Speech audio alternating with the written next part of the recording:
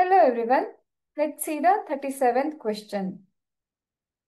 Ferrous sulfate plus copper gives rise to copper sulfate plus Fe, that is iron. Is it possible for the above chemical reaction to take place? Justify your answer. Here, in this reaction, they are they have taken FeSO4 and reacting it with copper. FeSO4 plus copper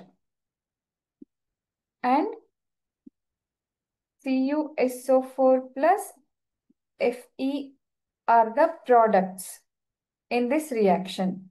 But is it possible? Is this reaction possible?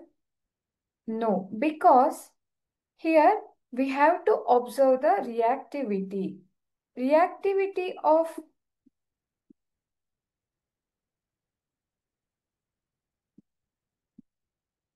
iron is more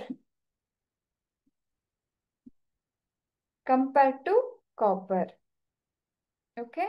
So, since the reactivity of iron is more, copper cannot displace iron from its solution. So, this reaction is not possible and these products cannot be formed.